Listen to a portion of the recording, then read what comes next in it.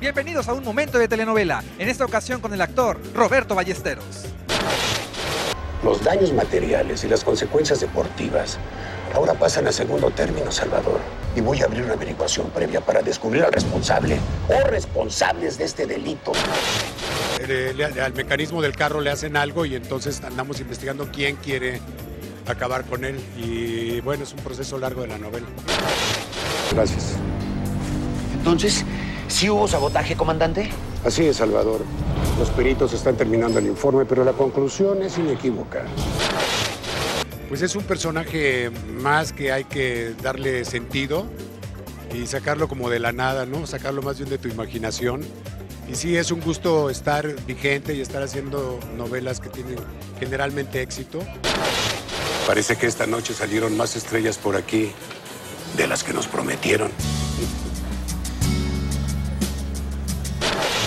El secreto está en ponerse al servicio del personaje y no poner a tu servicio al personaje.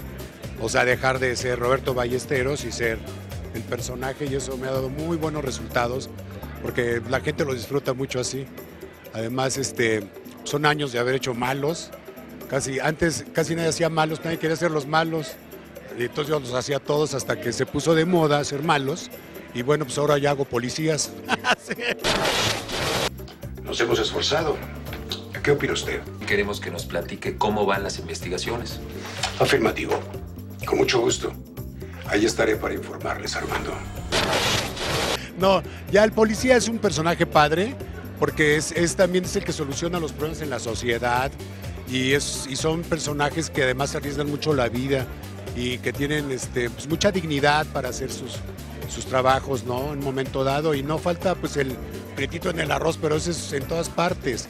El policía es, una, es un personaje muy digno que hay que apoyar su figura y respetar mucho lo que implica el policía, que es la ley.